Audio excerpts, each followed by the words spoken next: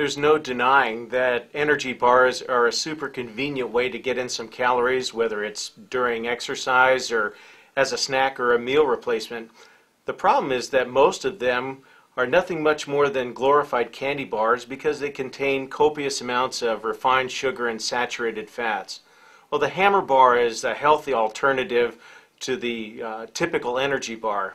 All the ingredients in the Hammer Bar are certified organic and kosher and the almond raisin flavor is certified vegan as well.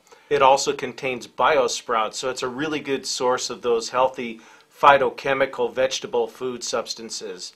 So if you're looking for a really good solid food choice, you won't find anything healthier than the Hammer Bar.